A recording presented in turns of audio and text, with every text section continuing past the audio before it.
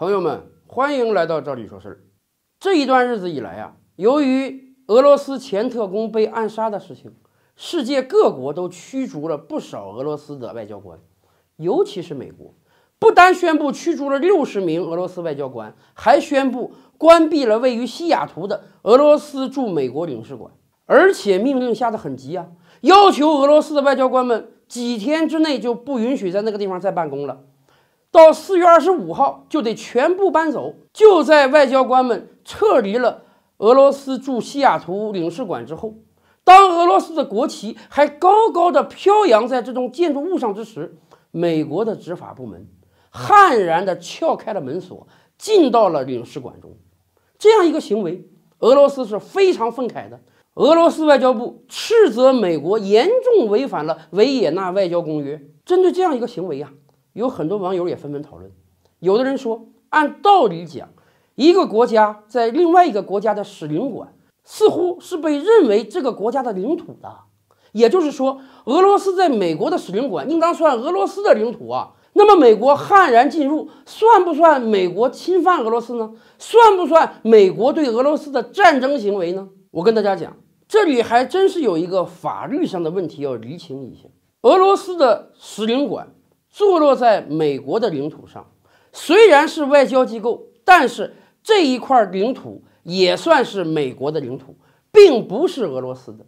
即便有的网友说，比如说我们中国在美国购买一块土地，在这个土地上建设了我们的使领馆，这块土地是归我们中国政府所有的，这算中国的领土吗？也不算。大家可以想想，美国是土地私有制的。任何一个中国人，只要你有钱，都可以在美国买一块土地。我们只可以说那块土地是属于你的，但当然了，那块土地也是人家美国的领土。那么使领馆有什么特殊意义呢？有的。虽然使领馆的领土还是所在国的，但是一般而言，在维也纳外交公约和领事公约的框架下，但是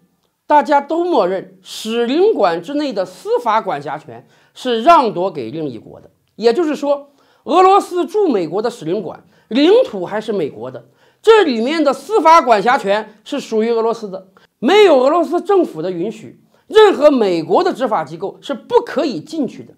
今天，美国在全球各地都有它的大使馆和领事馆，我们甚至可以看到，有很多荷枪实弹的美国海军陆战队是保护着他的使领馆的。没有美国政府的允许，所在国的官员也是不可能进去的。所以从这个意义上讲，我们要厘清两点：第一，在这个事情上，美国政府是有错误的，你违背了外交公约，你赤裸裸的打了俄罗斯脸；而另外一层，那个领土真是美国的，这不能视为美国对俄罗斯的战争行为。其实啊，这已经不是美国官员第一次闯进去了。去年，美国政府就宣布关闭了俄罗斯驻旧金山的使领馆，俄罗斯的外交人员撤走之后，美国官员也闯进去了。他们还美其名曰说我们是来检查检查建筑，检查检查俄罗斯人有没有真的撤走。到今天为止啊，俄罗斯在美国的使领馆机构只剩下三个了。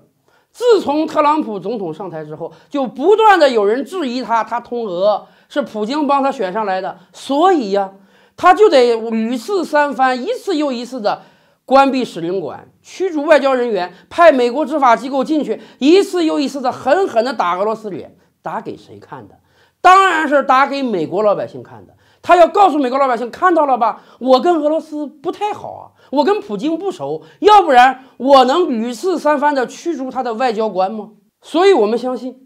随着美国国内中期选举的到来，类似这样打脸俄罗斯的情况很有可能会继续发生的。